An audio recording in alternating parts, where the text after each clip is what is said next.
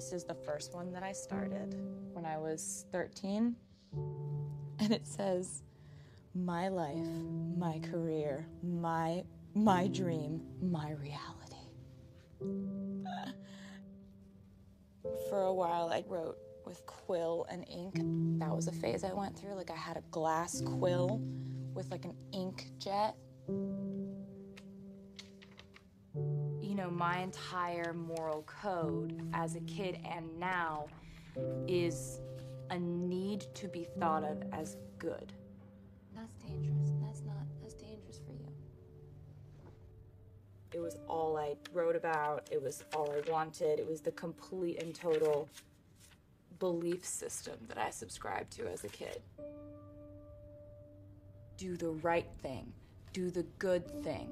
And obviously, I'm not a perfect person by any stretch, but overall, the main thing that I always tried to be was, um,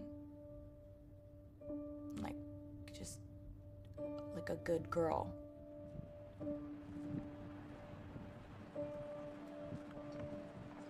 And now to perform the national anthem, a multi-talented performing artist from Reading, Pennsylvania. Please welcome Taylor Swift. Hey everybody! Um, Hi, Taylor. you know, one of my first memories of country music was when I was six years old and my parents took me to see LeAnn Rimes in concert. Guitar! I am happy. 12 year old Taylor Swift. Hey everybody, I'm Taylor. I'd been trained to be happy when you get a lot of praise. Hi, Taylor. See, that's that's Sony music right there. Sony is gonna listen to her CD today. I had that praise of Taylor, you're doing a good job at your work.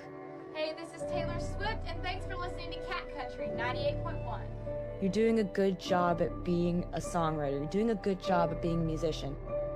Like those pats on the head were all I lived for. No one's going to be watching this because it's my home